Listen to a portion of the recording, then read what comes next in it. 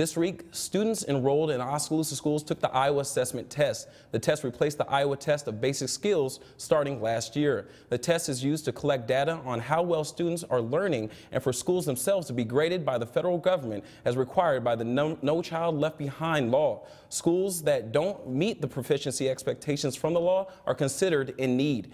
And uh, to understand more about this, we go to Aaron Riggs. Schools are labeled in need when they fail to meet a yearly growth goal, as set by No Child Left Behind law. And when a school doesn't make adequate yearly growth after two years, then it becomes a school in need of assistance, or SINA.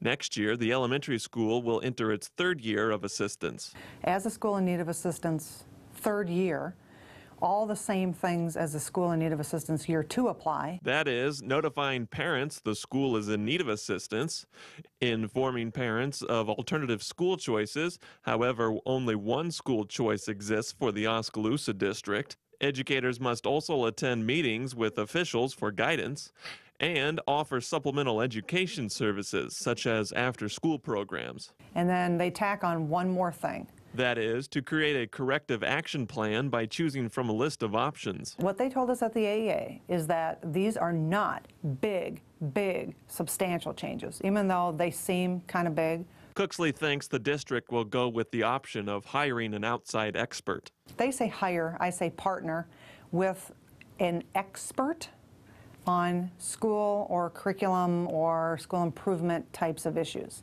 Cooksley says that the elementary school isn't the only school in the district labeled as in need. In fact, the high school was listed as a school in need of assistance in 2009 and the middle school since 2005.